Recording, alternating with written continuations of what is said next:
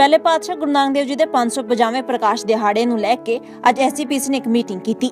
ਇਹ ਮੀਟਿੰਗ ਤੇਜਾ ਸਿੰਘ ਸਮੁੰਦਰੀ ਹਾਲ ਦੇ ਵਿੱਚ ਕੀਤੀ ਗਈ, ਜਿਸ ਦੌਰਾਨ ਐਸਜੀਪੀਸੀ ਪ੍ਰਧਾਨ ਗੋਬਿੰਦ ਸਿੰਘ ਲੌਂਗੋਵਾਲ ਨੇ ਕਿਹਾ ਕਿ ਆਉਣ ਵਾਲੇ 550ਵੇਂ ਪ੍ਰਕਾਸ਼ ਦਿਹਾੜੇ ਨੂੰ ਅੰਤਰਰਾਸ਼ਟਰੀ ਪੱਧਰ ਤੇ ਮਨਾਇਆ ਜਾਏਗਾ ਅਤੇ ਇਸ ਮਹਾਨ ਪੁਰਬ ਨੂੰ ਮਨਾਉਣ ਲਈ ਸਮਾਗਮਾਂ ਦੀ ਸ਼ੁਰੂਆਤ ਸੁਲਤਾਨਪੁਰ ਲੋਧੀ ਤੋਂ ਹੋਏਗੀ, ਜੋ ਕਿ ਪਹਿਲੇ ਪਾਤਸ਼ਾਹ ਦੀ ਚਰਨ ਛੋਹ ਪ੍ਰਾਪਤ ਧਰਤੀ ਹੈ। ਸਾਡੇ 500 ਸਾਲਾ ਪ੍ਰਕਾਸ਼ ਗੁਰਪੁਰਬ ਗੁਰੂ ਨਾਨਕ ਸਾਹਿਬ ਦੇਵ ਦਾ, ਉਹਦੇ ਸੰਬੰਧੀ ਸਾਰੀ ਅਸੀਂ ਇਹ ਮੀਟਿੰਗ ਕੀਤੀ ਹੈ।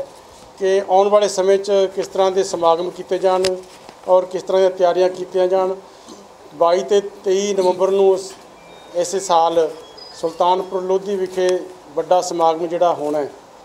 ਔਰ ਉਹਦੇ ਵਿੱਚ ਵੀ ਅਸੀਂ ਸਾਰਾ ਸੱਦਾ ਦਿੱਤਾ ਗਿਆ ਕਿ ਵੱਧ ਤੋਂ ਵੱਧ ਸਾਰੀਆਂ ਸੰਸਥਾਵਾਂ ਸਾਰੇ ਸਮਾਜ ਉੱਥੇ ਪਹੁੰਚੇ।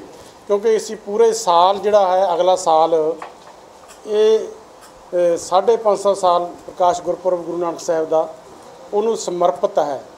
ਤੇ ਉੱਥੇ ਇੱਕ ਤਾਂ ਸੁਲਤਾਨਪੁਰ ਲੋਧੀ ਜਿਹੜਾ ਹੈ, ਉੱਥੇ ਆਪਣੇ ਸ਼ਤਾਬਦੀ ਦਾ ਸਾਢੇ ਪੰਜ ਸੌ ਸਾਲਾ ਸ਼ਤਾਬਦੀ ਜਿਹੜੀ ਆ ਰਹੀ ਹੈ ਗੁਰੂ ਨਾਨਕ ਸਾਹਿਬ ਦੀ ਔਰ ਉਹਦਾ ਅਸੀਂ ਇੱਕ ਦਫ਼ਤਰ ਖੋਲਾਂਗੇ।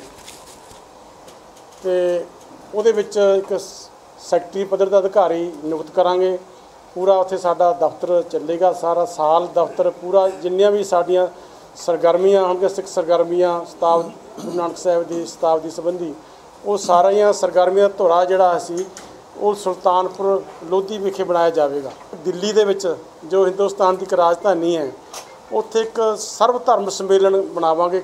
ਸਾਰੇ ਧਰਮਾਂ ਦੇ ਜੋ ਗੁਰੂ ਨਾਨਕ ਨਾਮ ਲੇਵਾ ਔਰ ਜੋ ਵੀ ਉਹਨਾਂ ਨਾਲ ਸੰਬੰਧ ਰੱਖਣ ਵਾਲੇ, ਸ਼ਰਧਾ ਰੱਖਣ ਵਾਲੇ ਨੇ, ਕਬੀਰ ਪੰਥੀਏ ਨੇ ਜਾਂ ਆਪਣੇ ਸਿੰਧੀ ਨੇ ਸਿਗਲੀਗਰ ਨੇ, ਜਿੰਨੇ ਵੱਖੋ ਵੱਖਰੇ ਸੰਸਥਾਵਾਂ ਨੇ ਸਾਰਿਆਂ ਨੂੰ ਉੱਥੇ ਸੱਦਾ ਦੇਵਾਂਗੇ।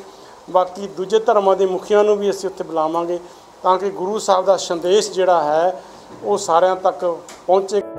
ਇਸ ਨਾਲ ਹੀ ਲੌਂਗੋਵਾਲ ਨੇ ਕਿਹਾ ਕਿ 550ਵੇਂ ਪ੍ਰਕਾਸ਼ ਦਿਹਾੜੇ ਨੂੰ ਸਮਰਪਿਤ ਨਗਰ ਕੀਰਤਨ ਦੇਸ਼ਾਂ ਵਿਦੇਸ਼ਾਂ ਵਿੱਚ ਕੱਢੇ ਜਾ ਰਹੇ ਨੇ ਅਤੇ ਪੂਰੀ ਧੂਮਧਾਮ ਦੇ ਨਾਲ ਇਸ ਪਵਿੱਤਰ ਦਿਹਾੜੇ ਨੂੰ ਮਨਾਏ ਜਾਣ ਦੀ ਤਿਆਰੀ ਹੈ।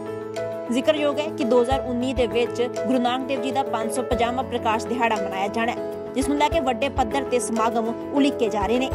ਦੈਨਿਕ ਸਵੇਰਾ ਲਈ ਅੰਮ੍ਰਿਤਸਰ ਤੋਂ ਰਜੀਵ ਸ਼ਰਮਾ ਦੀ ਰਿਪੋਰਟ।